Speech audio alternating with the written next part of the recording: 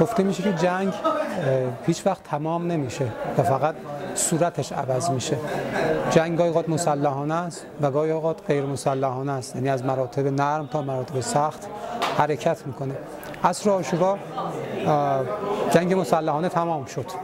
یعنی نبردی که سید الشهدا با یزید داشت از آشورا تمام شد. بعد از اون جنگی که ما باش مواجه بودیم جنگ روایت بود. یعنی روایت از زینب روایت امام سجاد و روایت باقی اهل بیت و اون روایت خفقان آوری که شامی ها می‌خوان می‌خواستن از قضیه آشورا و از قضیه کربلا داشته باشن.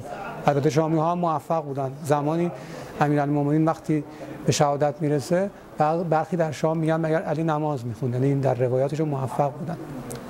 نکته که وجود داره اینه که ما همونقدر که جنگ مسلحانه رو باید جدی بگیریم جنگ در روایت رو باید جدی بگیریم. ما اگر در جنگ روایت شکست بخوریم خواه ناخواه در جنگ مسلحانه هم شکست خواهیم خورد.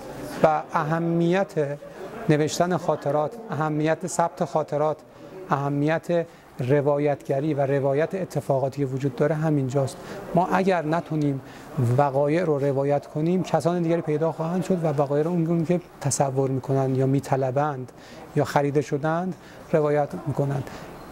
تصور ما اینه که جنگ روایت رو باید جدی گرفت. پیروزی در جنگ سیاسی و پیروزی در جنگ مسلحانه حتما از جنگ روایت و پیروزی در جنگ روایت شروع میشه.